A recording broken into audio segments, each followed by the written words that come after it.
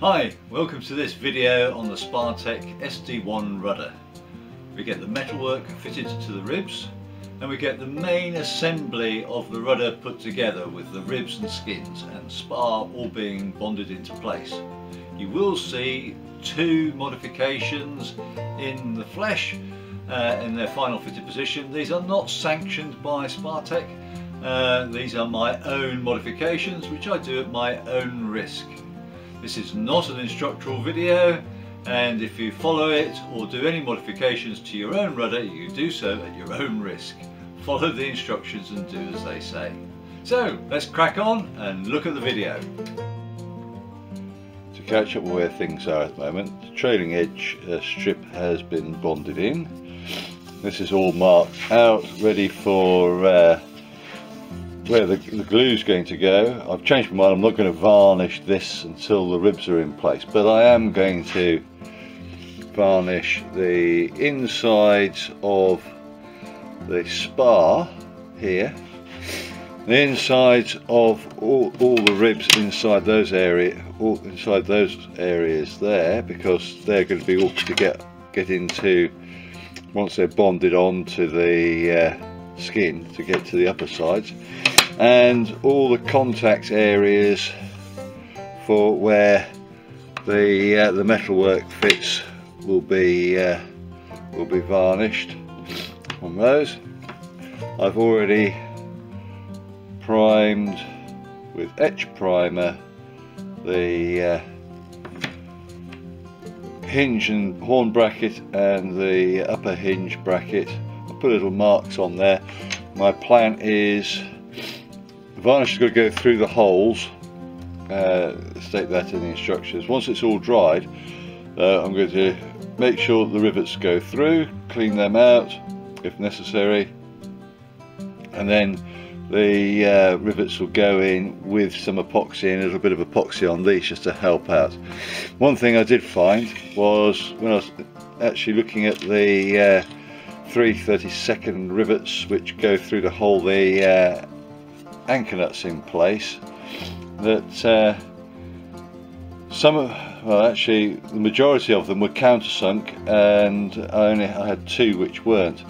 So uh, as they supplied excess I had enough. I'm I've countersunk the holes here so that uh, the rivets will sit flush on the bottom skin um, and I think that'll make it look a little bit uh, prettier possibly, uh, uh, a bit more professional. They're going to need just a little light sanding on the sides, it says that in the instructions. I think that's just to make uh, sure that it's uh, going to sit properly. Um, and very slight, they sort of, the way they sort of fit it, they don't quite go show that. They don't quite go fully along that trailing edge bit, but that's minor. I've uh, gone along the trailing edge strip here and I've planed it and sanded it so that it's at an angle.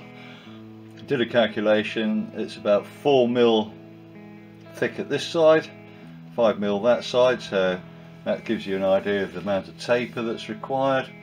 Uh, that's confirmed by what's shown on the plan, by measuring on the plan, but also I actually did a calculation for the angles to, to make sure I got it right that way. So I double checked. Uh, so,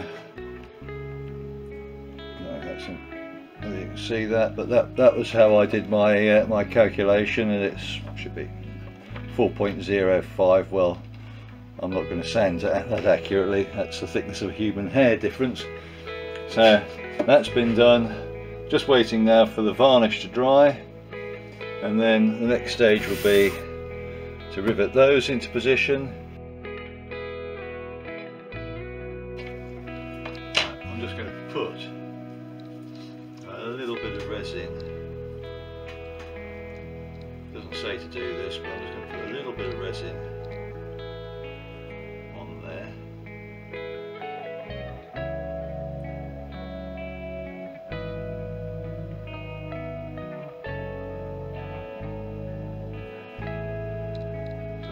that will uh, that'll help things out just a little bit.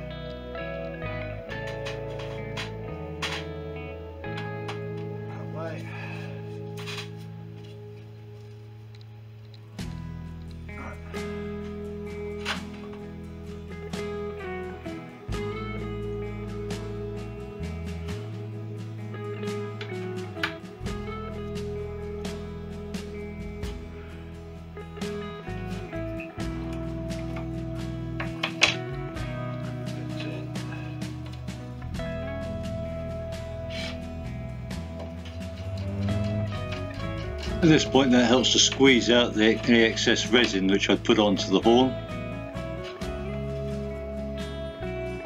Sorry about the car going past with noisy exhaust.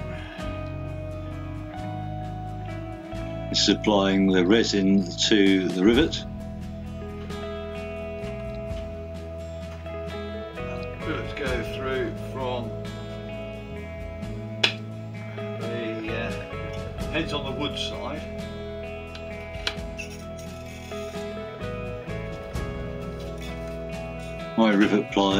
Are not the best in the world.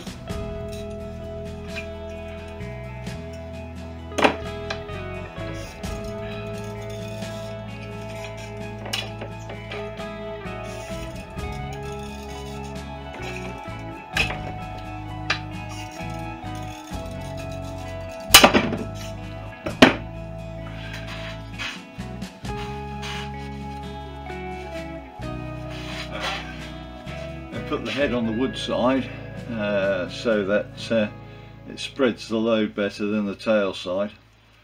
Um, we'll just crack on and carry on from there.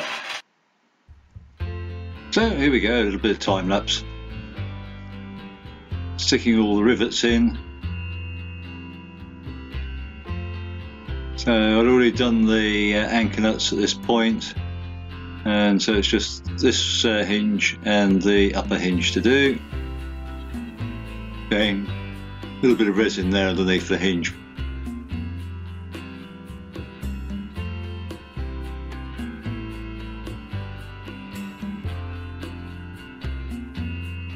So let's get things put together. So using uh, tape just to hold the leading edge in its relevant position, small gap there, so that'll act as like a hinge. And uh, so I can actually lift up that spar into line with the skin.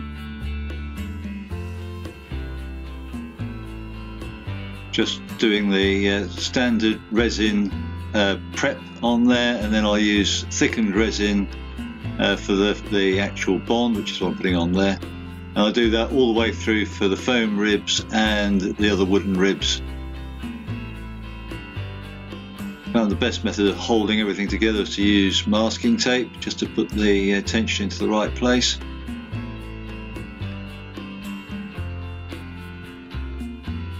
And so see I've got two pots of resin, one is just pure resin and one's that uh, slightly thickened resin.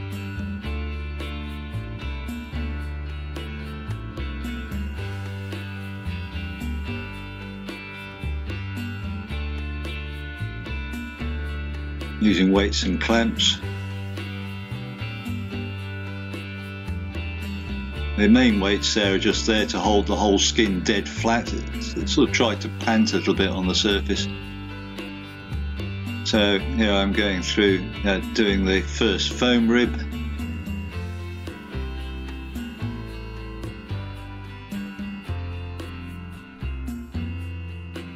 Getting rid of the excess, spreading it out a little bit on either side just to make sure that uh, I wasn't quite happy there, not enough glue, squeeze out, so just a little bit more, get the squeeze out, get rid of the excess.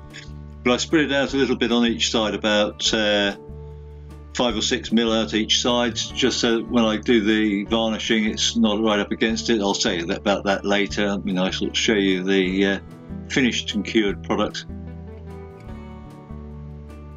Here I'm mixing up some extra resin because I found it's using up more resin than I anticipated on the foam ribs.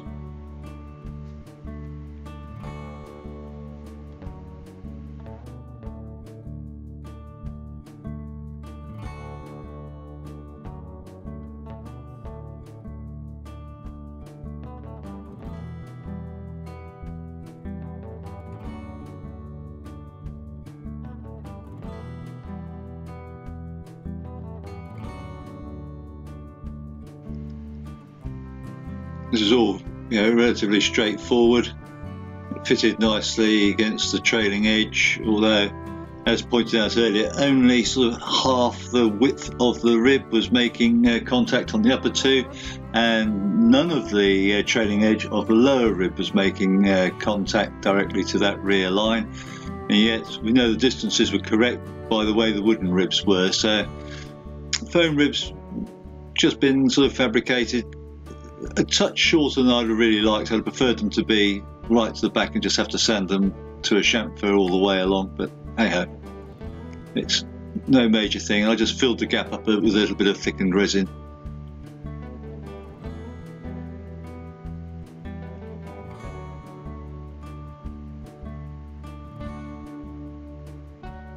Here we go with the top rib with the uh, hinge and then the top capping rib goes on last.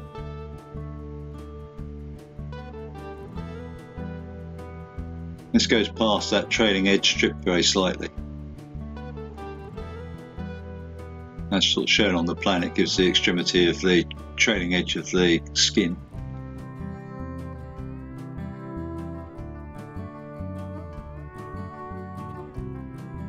This is a uh, what we've got. So see where I've wiped out.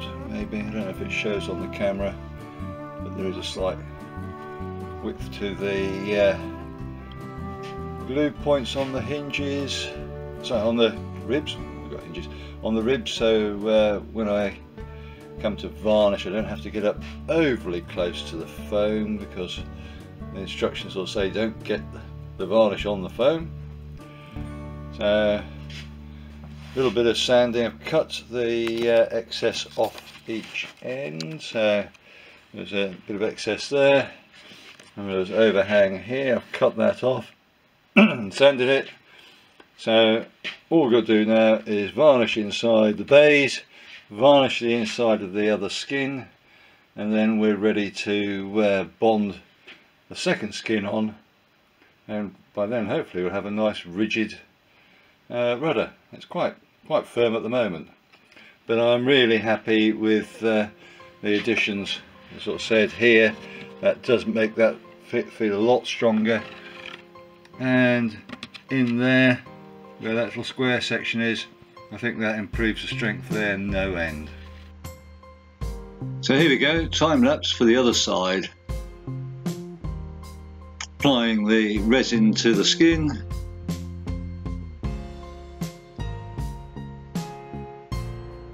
Pre-wet it so the resin actually soaks into the wood a bit, make sure you get a good bond again on all the other bits. I had sanded uh, the, the, foam ribs uh, with a long board to make sure they actually conformed with all the angles. it didn't really mention that in the instructions, but uh, without doing that, the skin sort of quilted a bit as it went over the top, so I made sure it was flat right the way across. Now I'm just applying the thickened resin, made up enough this time. Took about 20 grams of resin. Tape to hold the skin in position. Board there to make sure the skin lays flat and then uh, just added weights to make sure it's being held down on the ribs and trailing edge. Adding some extra weights. Getting rid of the excess and there we go. Build time 9.5 hours. Thank you for watching. If you enjoyed the video please hit the thumbs up. You can subscribe or even hit the little bell notification for future videos. Any comments would be appreciated and I'll try to get back to you as soon as I can. Remember, go fly and feel the sky.